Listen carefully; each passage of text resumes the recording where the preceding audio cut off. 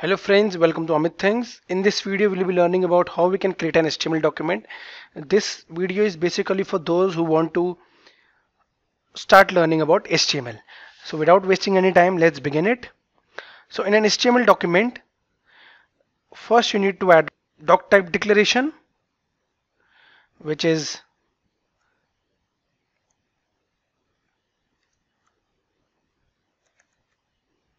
like this.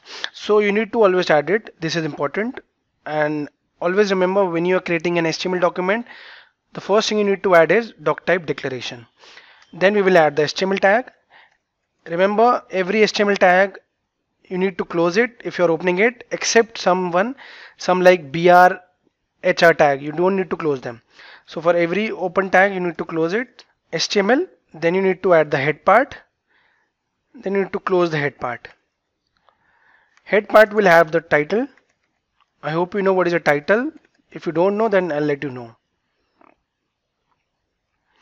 After closing the head tag you need to add the body tag.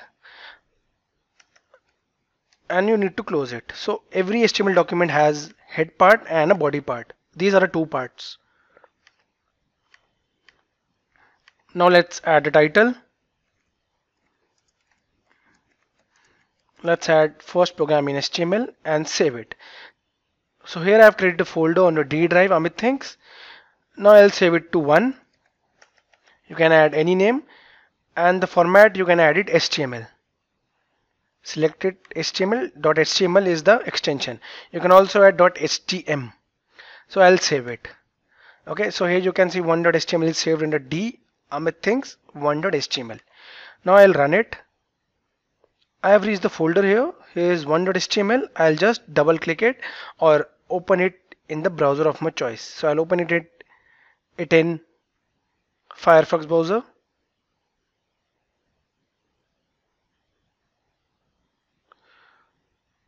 So here you can see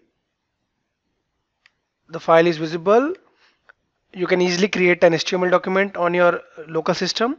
Here first program in HTML is visible which was the title. So title is visible here.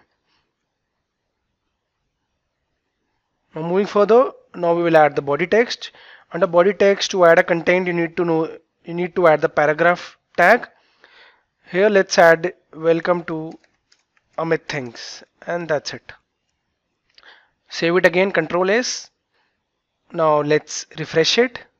Here you can see welcome to Amit Thinks is visible so in the same way you can create HTML document and begin with it like this. In the upcoming videos I'll be telling you how to create a heading, how to add paragraphs, how to create a table in HTML and other things about HTML. Thank you for watching the video.